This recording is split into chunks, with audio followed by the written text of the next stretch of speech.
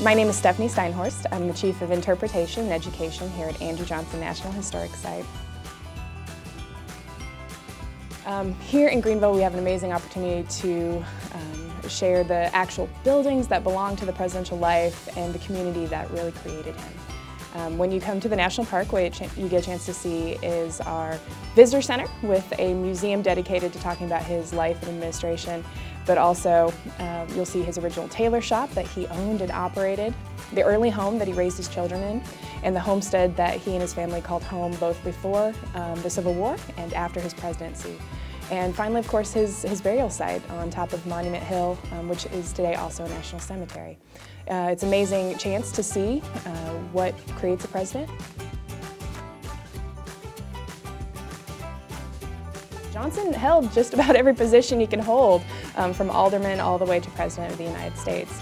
So the opportunity to imagine that, to imagine over 40 years of public service is an amazing opportunity we have right here in Greeneville. Discover, discover, discover Greeneville.